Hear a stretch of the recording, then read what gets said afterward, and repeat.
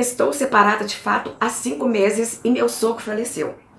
Tenho direito à herança que meu marido receberá?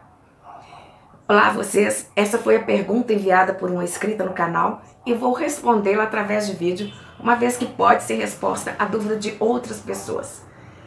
Na pergunta, a escrita não esclarece o regime de bens do seu casamento, que é um fator importante para saber se terá ou não direito à herança dos sogros, mesmo separada de fato há cinco meses. Esse dado é fundamental para entender como a sucessão acontece, pois os tipos de regime matrimoniais afetam a herança de maneiras diferentes.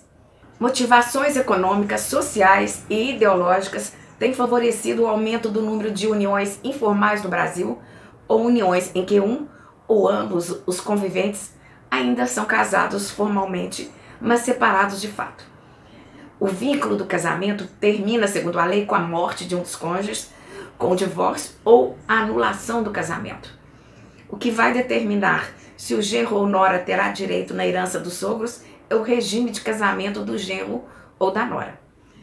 Os quatro tipos de regime de bens no Brasil são comunhão parcial de bens, separação de bens, comunhão total ou universal de bens e participação final dos aquestos. A comunhão parcial de bens é o regime mais comum, por isso é utilizado como regra. Neste regime, os bens que forem adquiridos durante a união são de ambos os cônjuges excluindo-se os bens particulares ou não se comunicam entre eles os bens adquiridos antes da união ou casamento e os bens recebidos por herança, seja antes ou depois do casamento. No regime de separação de bens, os bens de cada cônjuge são particulares, ou seja, um cônjuge não tem direito aos bens do outro, independentemente da forma de aquisição do bem, no caso de divórcio ou separação. No regime de comunhão universal de bens, todos os bens são do casal, tanto aqueles adquiridos antes da união quanto os que forem adquiridos durante e os recebidos por herança. Nesse caso, é necessário fazer um pacto antinupcial, que é feito antes do casamento e deve ser registrado no cartório de imóveis da circunscrição da residência do casal.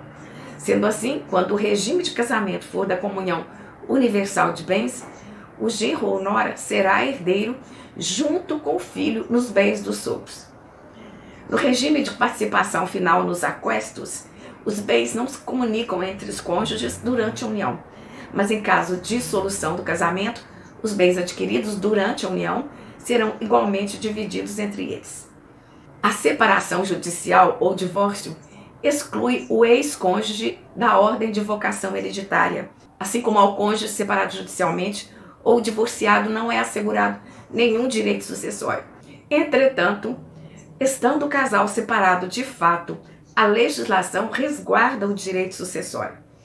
Conforme estabelece o artigo 1830 do Código Civil, o cônjuge perde o direito à herança se estiver divorciado, separado judicialmente ou separado de fato há mais de dois anos.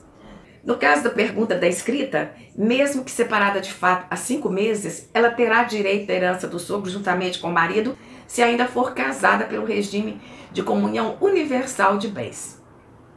Apenas a título de informação, os sogros podem impedir os cônjuges de seus filhos de terem direito à herança se realizarem doação aos filhos, gravando seus bens com cláusula de incomunicabilidade. Já postei um vídeo sobre o tema e deixo o link abaixo deste vídeo para vocês. Espero ter esclarecido a dúvida da inscrita e de outras pessoas. Mas se ainda tiver alguma pergunta, deixe nos comentários que estarei respondendo. Lembre-se também de deixar sua curtida, inscrever-se no canal e ativar as notificações para saber mais sobre direito sucessório. Até o próximo vídeo.